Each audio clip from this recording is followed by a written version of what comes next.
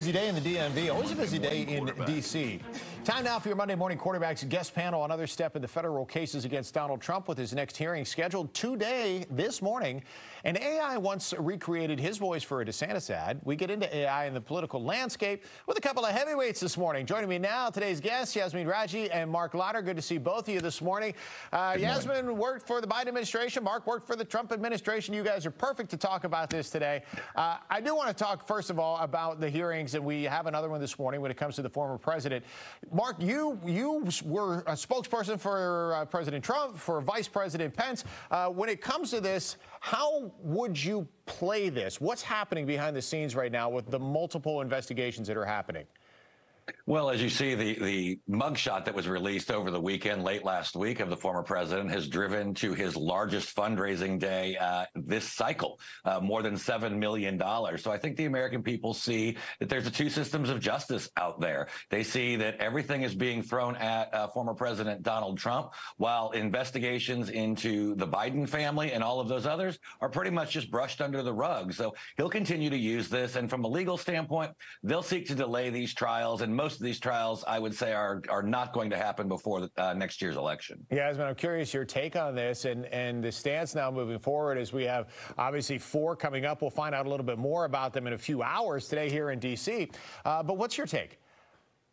Yeah, you know, I think uh, what uh, my co-panelist said is exactly right, which is the only legal strategy the Trump team has is to delay, delay, delay. And all they're counting on uh, is a hope that they delay, that Donald Trump wins the next election, and that he focuses on his top priority, which is pardoning himself. And I think where I disagree with my co-panelists is the American people, I think, are pretty clear, whether they're Republicans, independents, or Democrats, that their priority is not Donald Trump focusing on himself.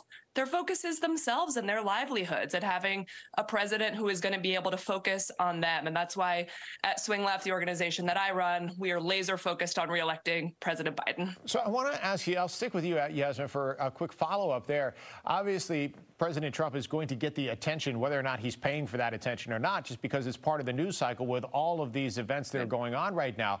So, how do Democrats counter that then if you want to, to gain the popularity uh, and gain the votes, essentially, when the former president is getting so much free publicity?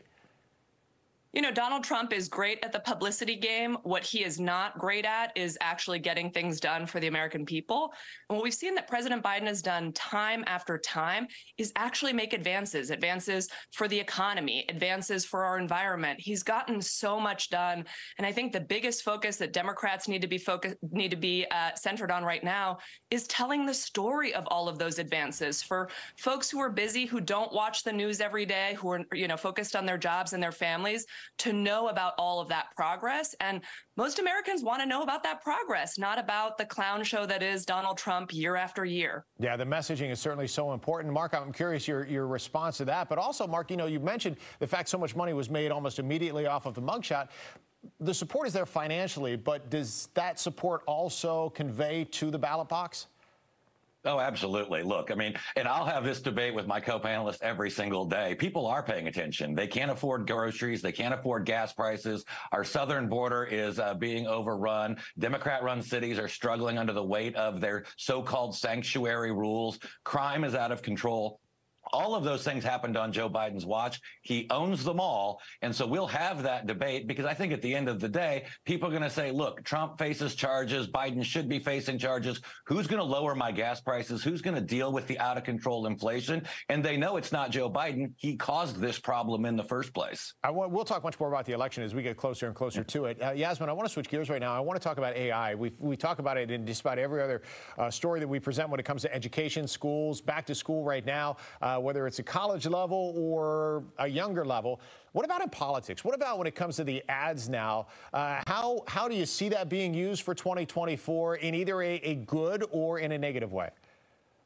Yeah, there's no question that AI is going to have a huge impact on our politics, and it's going to be both good and bad. You know, it is just like any other technological advance. It's a tool that will be used uh, to strengthen our politics. It'll also be used uh, to undermine it. But something that we've seen with every technological advance, whether it's social media or now AI, is that the fundamentals of politics don't change. And the fundamentals are we've got to be able to reach voters face to face, person to person.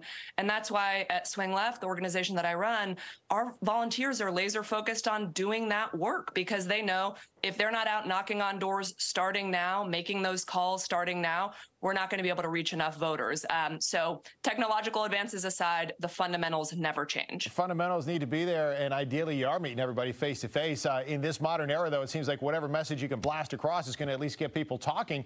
Marc, you've run the campaigns at the highest level. How do you use AI now, or how would you use it uh, in an upcoming campaign?